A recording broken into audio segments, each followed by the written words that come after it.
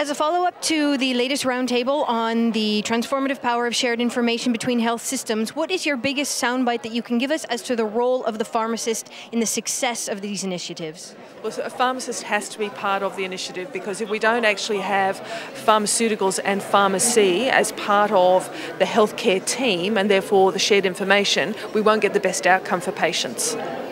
And what role do you see from FIP in supporting these worldwide, these initiatives? Well, actually, having a roundtable like this, which even I was getting good ideas from as we were sitting there uh, on the roundtable, talking about the issues, exchanging ideas, is just exactly what we need.